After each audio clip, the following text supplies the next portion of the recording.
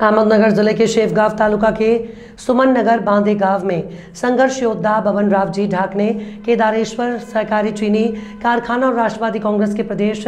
महासचिव और प्रताप काका ढाकने के जन्मदिन के अवसर पर कारखाना स्थल पर वृक्षारोपण, स्वास्थ्य जाँच शिविर और रक्तदान शिविर का आयोजन किया गया। प्राथमिक स्वास्थ्य केंद्र हाथ गाँव के सहयोग से अध्यक्ष ऋषिकेश ढाकने संचालक डॉक्टर प्रकाश धनवट त्र्यंबक तादा, चेमटे, डॉक्टर सोनाली तड़के, स्वास्थ्य अधिकारी डॉक्टर काशिद जन कल्याण ब्लड बैंक के मणिकर, प्रभारी कार्यकारी निदेशक रमेश गर्जे, प्रशासनिक अधिकारी पोपट राव केदार सहित अधिकारियों और कर्मचारियों को फैक्ट्री स्थल पर ले जाया गया।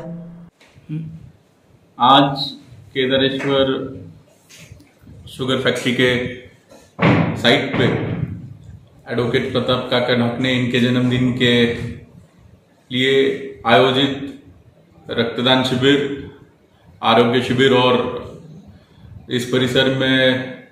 वृक्ष लागवड़ के लिए आज सामाजिक उपक्रम फैक्ट्री की तरफ़ से लिया गया है।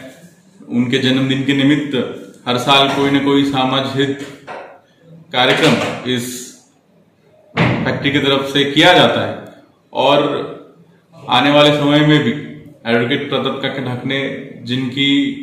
लगभग 25 से 30 साल से सामाजिक राजकीय जीवन में आज वो कार्यरत है और समाज हित के लिए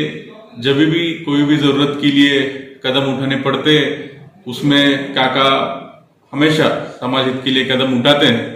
रक्तदान के लिए इस परिसर में हम सब जानते हैं कि एक इंसान जब रक्तदान करता है, उस एक इंसान की वजह से तीन ज़िंदगी के लिए मदद होती है। तो उसी तरह से वृक्ष लागवड जी भी के लिए अपन देखते हैं कि पर्यावरण की परिस्थिति आज